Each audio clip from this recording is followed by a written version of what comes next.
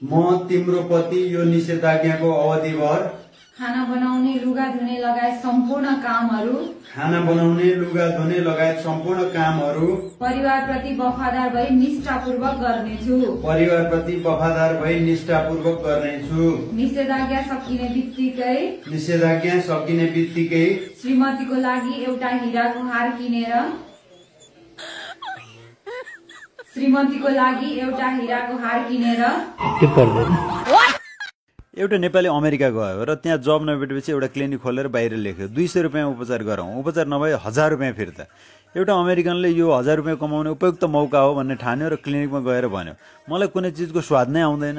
नेपालीले भन्यो box number फाइभको औषधि निकाल र दुई थोपा खुवाऊ। नर्सले खुवाइन्। अमेरिकनले भन्यो यो त पेट्रोल हो। नेपालीले भन्यो बधाई छ तपाईँलाई स्वाद आयो। दुई सय रुपियाँ निकाल्नुहोस्।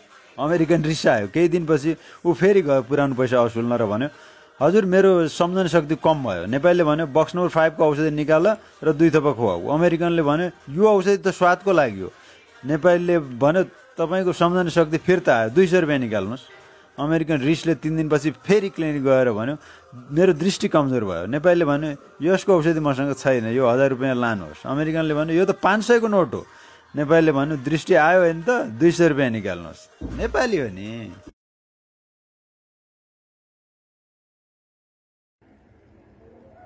यो साली नभएको घरमा बिहे गरेर पनि बहुत ठुलो गल्ती गरिएछ यार। ससुराल जानु पनि केही मजै नआउने।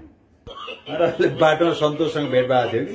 त्यस्तो कुरा गर्दै थियो। मलाई चाहिँ खास उसको कुरा चित्त बुझेन कि?